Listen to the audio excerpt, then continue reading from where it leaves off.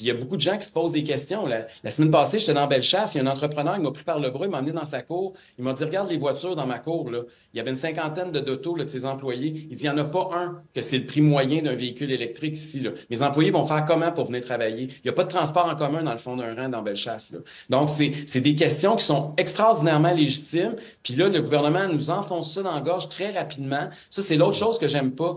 Ils nous ont sorti ça, les, les règlements, puis ont publié ça dans la Gazette officielle le 10 juillet, juste avant les vacances de la construction. Puis ils donnent 45 jours pour de consultation qui se, terminent le 25 août. Une petite vite là, du temps des, des, vacances de la construction. Et c'est pour ça qu'on a présenté notre mémoire hier. Puis on invite la population à aller sur moncharmonchoix.com pour signer avec nous le mémoire, pour envoyer ça au gouvernement. Puis on va être nombreux. Mais c'est quoi la de signer le mémoire? C'est comme vous faites en fait une sorte de pétition ou... Ben, c'est juste pour montrer qu'on n'est pas seul. Je pense qu'il y a beaucoup, beaucoup de gens. Puis j'ai hâte, on, va voir, il y a peut-être des sondages qui vont sortir dans les prochains jours. Là.